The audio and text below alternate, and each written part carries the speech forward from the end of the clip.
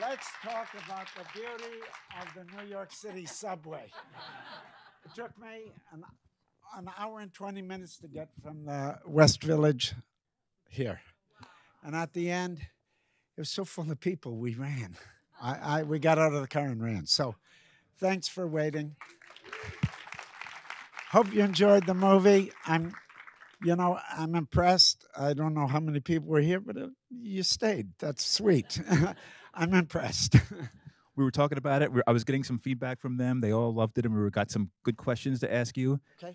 But the, so the first thing is, we were just talking. I, I was just making the point about for four decades or so the humanity that you bring to your work, and I've heard before you, when when you've when you've heard in other interviews. Um, your character Baxter uh, Godwin described as a mad scientist. You push back on that. No, I get upset because, you know, it misidentifies him and also it closes it down.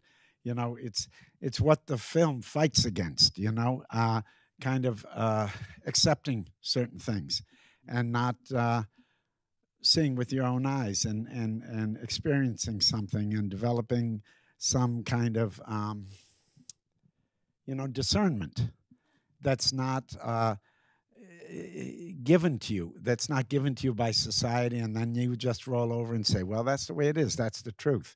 And the beauty of this movie is her you know not only her finding her way but in general um, you know this idea of without social conditioning she becomes like a, a truth teller uh, she's an innocent but she's also the wisest person in the world because she's she's seeing things and she's seeing through things that we take for granted and, and given and they oppress us.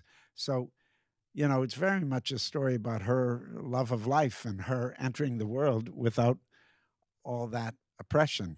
You know uh, a lot is made of the sex and all that but that's part of it. But for me um, that's not what this film is about. It's about ways of saying and uh, freedom uh, you know personal liberation. Thank you. I wanted to actually ask about you as a as a movie fan because there's been a lot of I mean your your career all of your career but especially lately these great workflows you've gotten in with Robert Eggers did the Lighthouse and you're working with him again.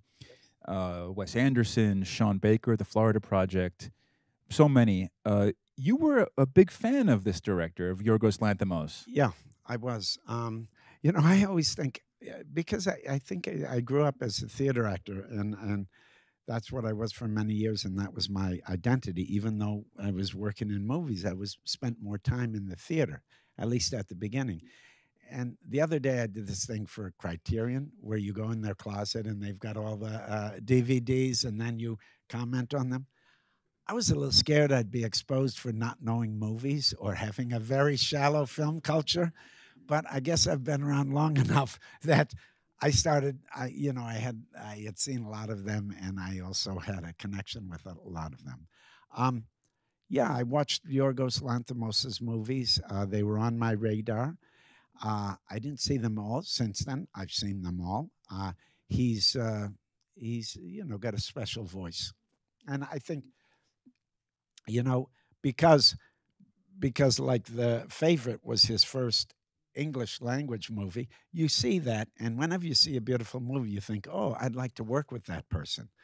But there was a little distance because he's working in greek and he's working in other languages and and i think oh i, I appreciate it but i don't think i'll ever get to work with him. And then i saw the favorite which um you know then that made me think oh he's working in english and he's working on a, a different uh, scale. Um not that that bothers me i make plenty of small movies but um so so when he called me up with emma together on the phone not totally out of the dark i mean someone said they're they're going to call you and i was like really? Cool. Um you know i was good to go because i loved his movies and uh, i've always you know really liked emma and thought she was talented so then when they told me the story i thought that's that's cool I've heard you mention that uh, when they called you that day, uh, there was a portrait of your dad. Um, and tell us about your dad. well, I, I, I mention it because uh, I looked around me and I thought, yeah, I'm right to do this. Um, I was in uh, this little my study basically in uh, New York, and when they were calling me, I noticed that behind me was a uh, was a portrait of my father. I don't have a crazy thing about my father, but I did film once where they painted a portrait for him, you know, for the story, and they gave it to me at the end, and it's quite good because it's taken from a photograph. So I put it up there, and then over here is a big photograph, a huge photograph of uh, Marina Abramović doing an autopsy on a nude woman. And I see that. I see the father. I see the autopsy. I grew up in a medical family. I grew up around labs. I grew up around instruments and blood and all that kind of business. So I thought, yeah, I'm, I'm, I'm ready to do this. I, I, I have a little background in this. and actually, the, the the sewing, like when you actually sew the money into her, those are your hands doing that. They are, and what, what was funny is uh, it's a very minor uh, moment. Um, so I don't know whether you remember. You just saw the film, but I've got these fake thumbs on, you know, and it was really difficult. But we had they they hooked us up. There, there was a rehearsal period that I, I can talk about a little later. But one of the things that we did besides our rehearsal period together was Ramy and I were working with a woman that worked at the morgue. She was very cool. Um, and she taught us certain things about autopsy, taught us how to cut. Um, you know, we were using the period, uh, you know, uh, instruments that we would we would use in the uh, movie.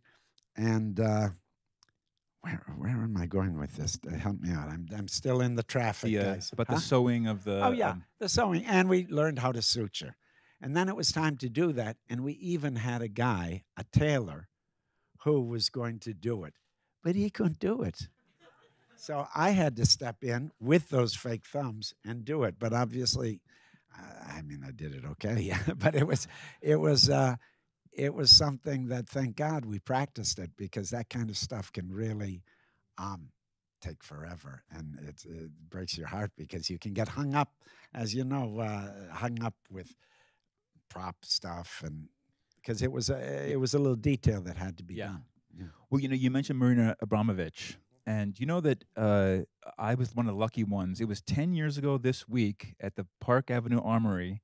Oh, you saw? I uh, saw you ah. and her do, and um, it was great seeing you He's there. talking about a show, a, a Robert Wilson theater show that uh, uh, Bob Wilson uh, uh, about Marina the, Abramović. the, the yeah. life and death of Marina. Yeah, I mean, yeah. she's still alive, but the uh, th- it was it was a very heightened. It, it was it was a great experience. It was thrilling. But I wanted to ask, and I not to make you talk about the makeup too much, Yeah, yeah, no, we can. but I did. I mentioned to the crowd because we were talking about your your past work, all all all the great stuff, and I mentioned Bobby Peru Ah, yeah, from Wild at Heart with the teeth, yes, yes. and you said that that kind of that helped you understand that that character. not even understand. It made me become that character.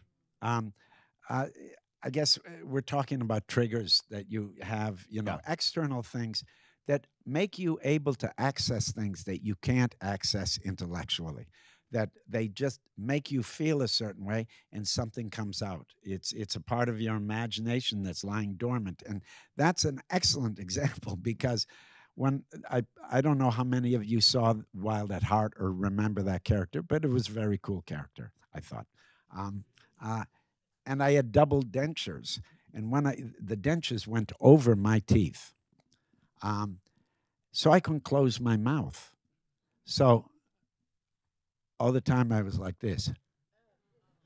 And if you do that, he's he's a sleazy guy, you know. If you do that, you all of a sudden feel like you know you want to chew on something or you want to do something nasty, you know, and and that was a key. You can't think that. You can't plan that, you know.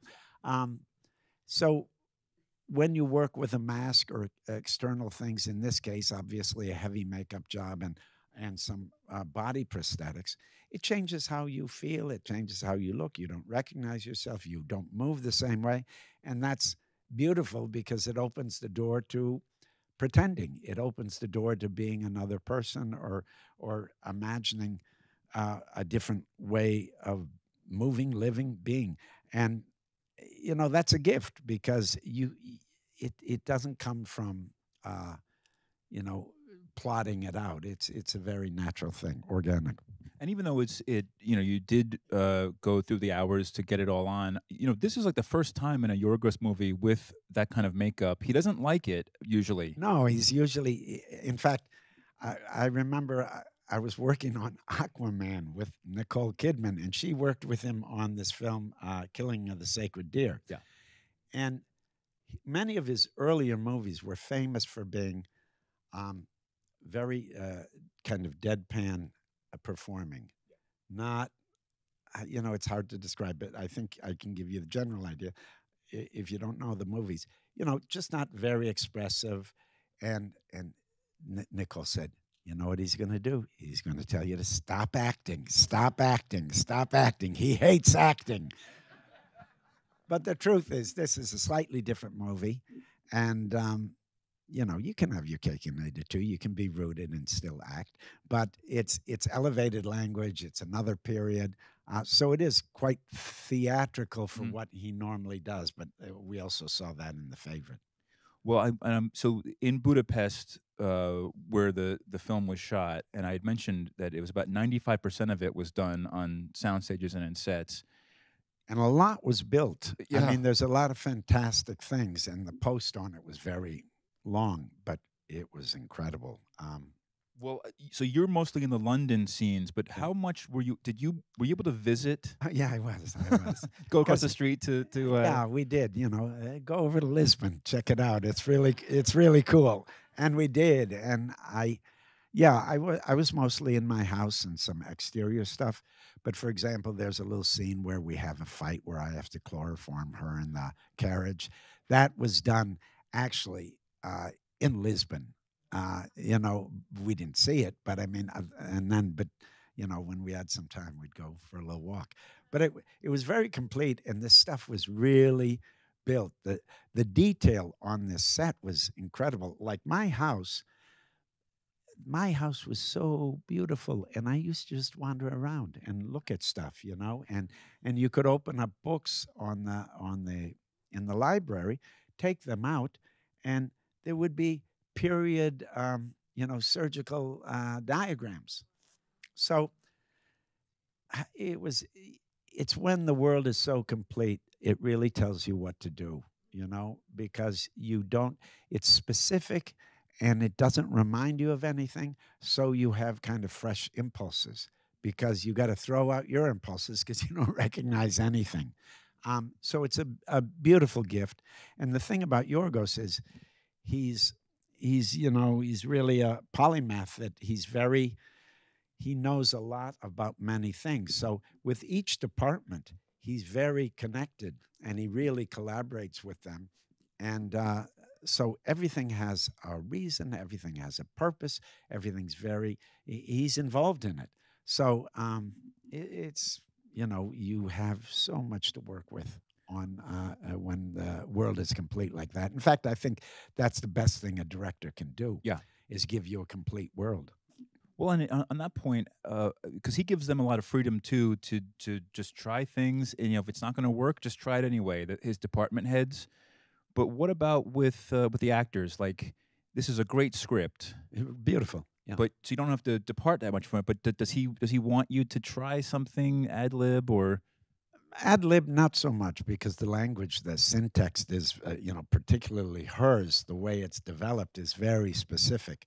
And also mine um you know besides an accent and written kind of a certain way no you don't want to mess with that. I'm not sure i could Im- improvise and nor would i want to. There was a wealth of stuff to do. It uh, you know uh, there was no reason to do that. Um yeah uh, but he, uh, to answer your question, he gives you a setup. He sends you out and uh, really lets you kind of go, observes, and you know pushes you a little this way, pushes a little that way. But there's not a lot of talking like, "All right, now uh, what has to happen here?" you know, I mean, it's mostly uh, SAG people here, yeah. Okay, so you know this, but um, you know, I, I'm always impressed, and it hasn't changed. I- I've been working for a while, and it's always the same.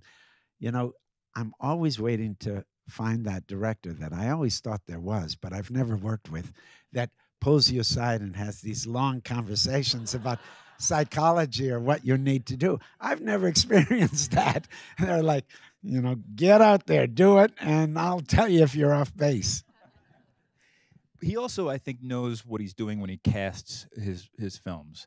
And so just to mention some I mean Mark Ruffalo uh, is hilarious. and and that and that's inspired because you know I've been doing some press with Mark and he he laughs he says you know it's such a departure departure from his sad dad roles you know you know kind of sensitive you know worried you know he's he he's handsome but you know he's got the kids and you know it's not that.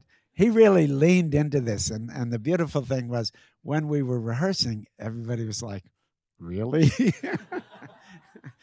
And uh, then I, once we got to the place and it started to happen it was like yeah yeah. Well, also Ramy Youssef is so sweet as uh, you share so many t- scenes with him. i did and you know what you see is what you get. I mean eh, of course it's a performance but he's a very um, i don't know if you know his comedy stuff but smart sweet um, really thoughtful really thoughtful kind wonderful wonderful guy. There were there were uh, see I don't know how many people you actually got to mark is a louse no no just kidding I just wanted to point out that because the name is not that famous yet. Don't but, me on that please but uh, Kathryn Hunter plays the the brothel owner, and, and Yeah, very nice. she's amazing. And and uh, Hanna Schygulla. Anna Schygulla. Gee, some someone here wanted to ask if uh, if you got a chance to meet her at all. you know, she. Oh, uh, just real quick. Um, nothing's quick, but um, uh, when we had these rehearsals, He they were very the woman on the steam on the steamship. Yeah, uh, the old, the interesting old lady, you know, that hasn't had sex in twenty years and doesn't mind at all, you know, which is an, you know, it's totally puzzling to uh, the Bella character. Um, okay, we we'd have these rehearsals, and what was interesting about it was we played theater games. We didn't apply ourselves to the scenes. Sometimes we'd use the text, but we used it abstractly, and it was beautiful because it got us used to the language and let us play with it, and also helped us, you know, uh, memorize it and and uh, find rhythms and find music. But we didn't do the scenes. We didn't talk about character. We played theater games, and you know, these were things that I thought "Oh, I used to do this when I was young, you know, but they were conducted so beautifully um, by Yorgos that not only did he make company and uh, create a dynamic that was playful and people could fail in front of each other, and it also told us, gave us his language, his way of being. So it was it was really really useful. Well, there was the that was mostly Ramy, uh, uh, Emma, Mark, uh, and then other people would come in. But the core of us was that, and uh, some of these other people would come in like for one day. And Hanna Schygulla, you know, I don't know how well people know her, but I. I mean, I know her work really well because I was a huge Fassbinder fan, and she was kind of a muse for him. Um, she came in and she was like, you know, she thought this was all bullshit. and and I remember Mark came up um, and said he was trying to be, uh, you know, connect, and he was like, "Oh, uh, Schygulla, I'm I'm so honored to meet you." And she said, "That's stupid." you know, she she was pretty hardcore. Um, but she works very well in the movie, and you know, it's one of those things that uh, I, because really, I, I she occupies a place in my head, so it's kind of one of those little pleasures. Where did I ever think I'd be in a movie with Hanna Schygulla? No, but I is. Someone someone from the audience asked me to ask you uh, about auditioning. Um, what was maybe what was the last time you did it, and, and do you have any do you have any uh, advice for uh, for actors on doing that? You know, to be honest, I've auditioned very little because I was very lucky because I was a theater actor and people saw me at the theater and I started and it was an avant-garde theater. It wasn't a commercial theater. So it was a and that was my identity. You know I was a downtown guy you know and I was I mean sure I auditioned. I mean for example I put myself on tape for Spider-Man you know uh, so I did I did some of that but not so much because normally I was at the theater and people would come to see me or or after some movies you know you can say look at the movies. So i didn't do so much uh, auditioning not like a lot of people have. So i was fortunate but uh, the only thing i'd say is and i experienced this because i've been involved in the casting i've been on the other side of the cat not i'm not, as a director but as an actor with the director looking at other actors just remember that the second you, I, I think you know this, but uh, the, the second you walk in the door, they figure things out in about three seconds. And so the best thing is you don't, you know, the most important thing, maybe the most important thing about performing is just be present and uh, don't feel like you have to produce anything. Be there the best you can. Um, it's not just a case of uh, and you know underselling and all that it's really you know for me and i think for a lot of people in that casting process that when they're on the other side if you feel too much need you uh, it repels you because you want someone to get there that you feel like can can take it you know can take it and if they don't know where they're going or, or they're lost, they're not going to freak out and you can work with them. But if you feel like someone that needs too much or they're too much in your face, you know, some people like that, I guess, but that, that you're like, hmm, I don't know. Uh, be also because it seems egotistical.